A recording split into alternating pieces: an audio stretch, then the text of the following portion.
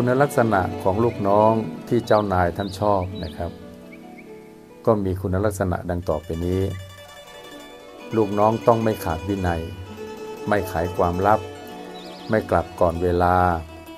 ไม่มาทำงานสาย ไม่ดูดายการงาน ไม่เกียจคร้านต่อหน้าที่ ไม่หนีความรับผิดชอบ ไม่ประกอบความชั่ว ไม่มั่วกับอบายมุขไม่รักสนุก จนเสียงาน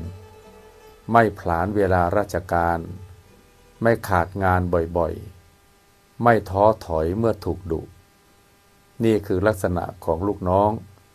ที่ผู้บังคับบัญชาหรือเจ้านายปรารถนา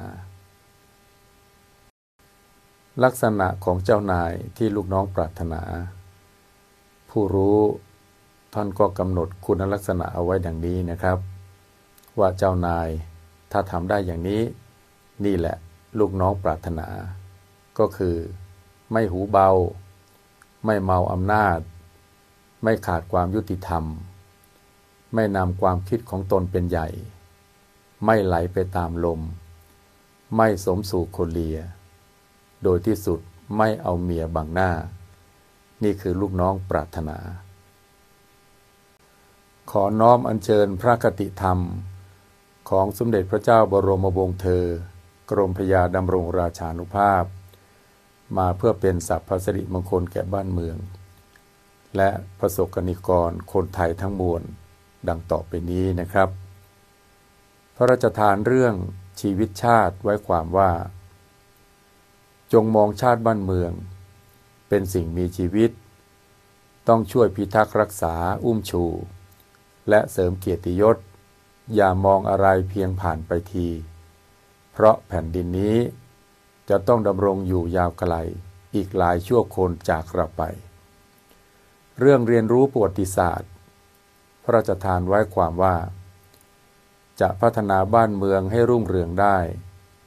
ต้องเริ่มจากให้คนไทยรักชาติเป็นเสียก่อน มีความจริงใจให้กัน อีกทั้งเรียนรู้ประวัติศาสตร์ ถ้าไม่รู้ว่าตนเองเป็นใครแล้ว จะรักชาติเป็นได้อย่างไรกัน เรื่องข้าราชการ พระราชทานไว้ความว่า ข้าราชการมิใช่อภิสิทธิชน หากแต่จะต้องบำเพ็ญตนให้เป็นแบบอย่างของคนดีแก่สังคม เรื่องกฎหมาย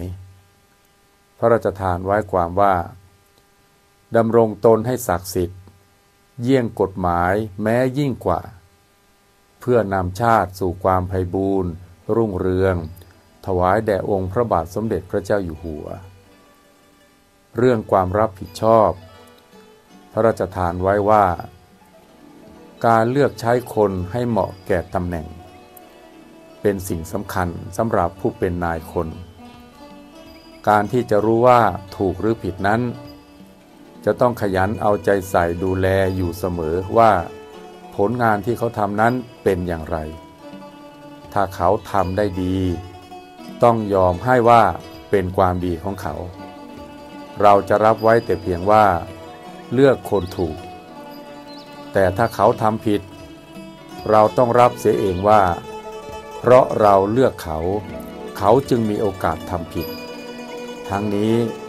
เพราะอำนาจอยู่ที่ไหน ความรับผิดชอบต้องอยู่ที่นั่นด้วย